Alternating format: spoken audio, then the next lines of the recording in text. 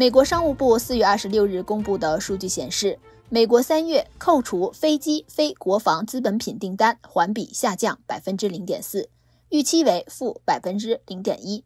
三月份企业设备订单下降幅度大于预期，表明借贷成本上升和经济前景不明朗正在抑制资本支出。随着经济显示出失去动力的迹象，信贷环境收紧，许多企业正在缩减投资计划。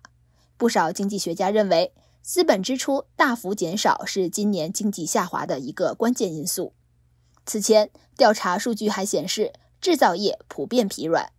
三月份对小企业的一项调查显示，只有百分之二十的企业主计划在未来三到六个月内投资于设备和结构，这是两年来的最低比例。另一方面，美国财政部长耶伦二十五日警告称，如果美国国会未能提高政府的债务上限，由此产生违约，并将导致失业，同时使得家庭在抵押贷款、汽车贷款和信用卡上的支出增加，会引发一场经济灾难。并在未来几年推高利率。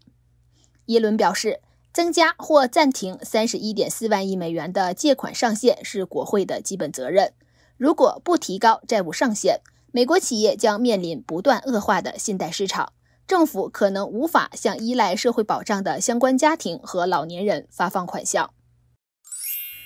美众议院共和党人正在利用债务上限的僵局来倡导他们的长期目标之一。要求更多的低收入美国人工作以获得政府福利，尤其是食品券和医疗补助，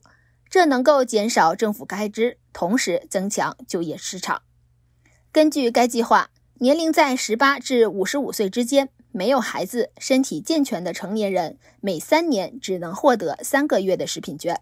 除非他们每周工作至少二十小时或符合其他标准。目前，该授权适用于十八岁至四十九岁的人群。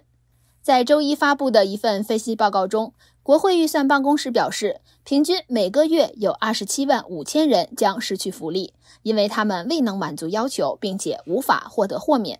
另有一万九千人将因为获得的新收入而获得小额福利。其他机构预测可能产生更大的影响。该条款将使大约九十万名年龄在五十至五十五岁之间的人面临失去食品援助的风险。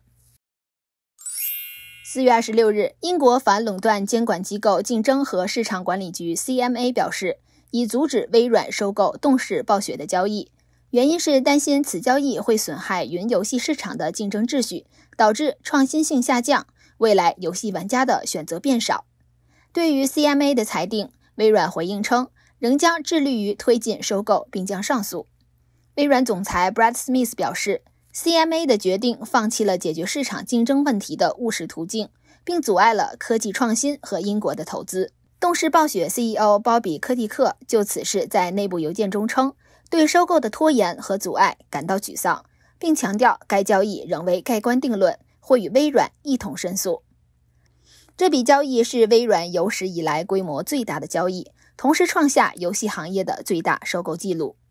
受交易受阻的影响，动视暴雪股价当天暴跌近百分之十。